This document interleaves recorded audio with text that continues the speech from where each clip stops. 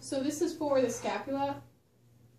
You don't have to get so much of the um, SC joint because it's just for the scapula. You have your patient abduct their arm away 90 degrees. You can also have them put their hand on their head.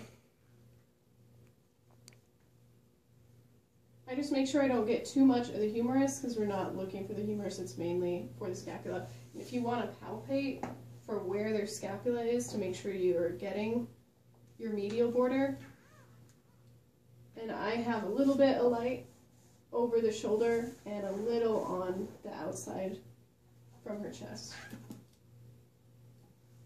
And then you're laying your butt up. Okay, hold your breath. Go ahead and breathe. Okay, for the lateral, they'll bring her, her hand will go across to the other shoulder for this one.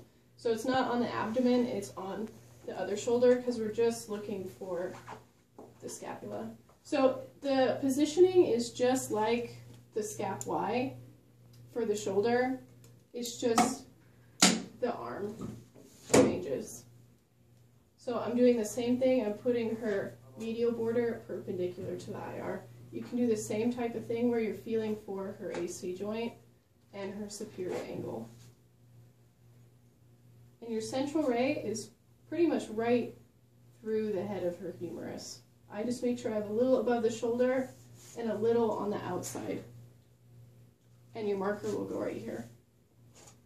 Same thing, just hold your breath. Go ahead and breathe.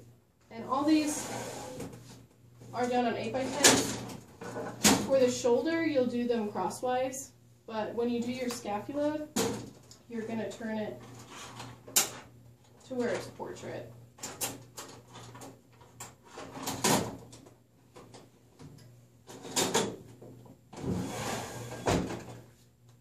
That's it. Okay.